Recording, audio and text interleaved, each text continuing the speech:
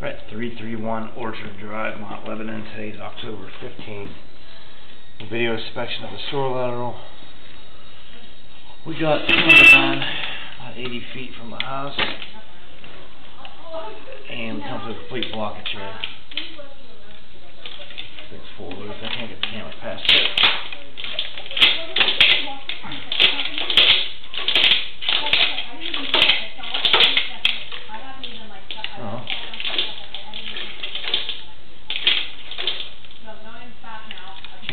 Camera to get through this pile of roots here. I'm gonna pull back. There's roots everywhere through this sewer.